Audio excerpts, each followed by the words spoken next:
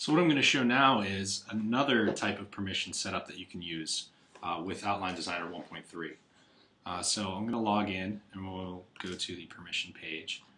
Uh, in this demonstration, I have the Book Manager module installed. So uh, Outline Child Pages submodule will respect the Add Content to Personal Books permission in place of the Outline Own Pages. So uh, say that you use Book Manager and you don't really want them to be able to outline things they have access to in other books, but you would like them to use Outline Designer within their own book material. Um, so you don't set this, the outline own pages permission. And if you go up and so I have authenticated users can add content to personal books and create personal books. So let's save, log out log in as my test user who is just authenticated. So this is only an authenticated user. So create a new page here. And this, even though I don't have the book admin aspects, is provided by Book Manager. So we'll say save, add another page. Which, because parents pre-populating this, that's nice, it gets dropped in there automatically. All right, so I'll add another page because just one doesn't really work in my scenario here.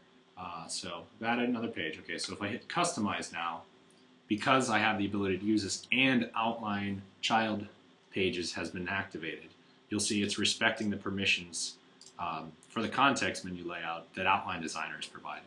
So this would allow people with just the book manager permission, you see I was able to very quickly reorganize that, um, allow people with just the book manager permission structure I showed you uh, to be able to re uh, restructure and use the outline designer for their own material.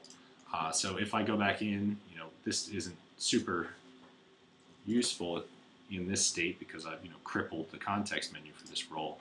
Uh, I'll go back and change the context menu to something a little more powerful.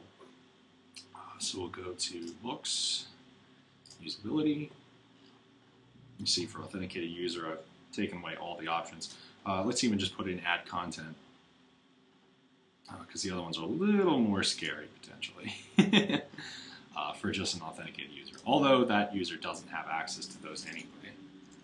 Um, so they can't, this user can't delete content, they can only edit and uh, add content. Uh, so we'll go into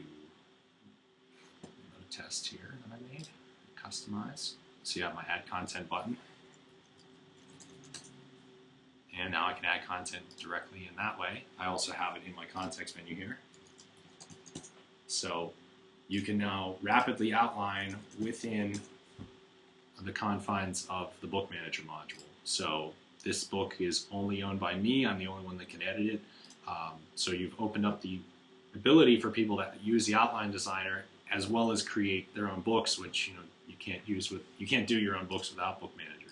Uh, so optional module support as well right there. I've uh, submitted a patch. Hopefully it gets rolled into the next version of Book Manager to allow for this functionality, but it's, it's pretty basic.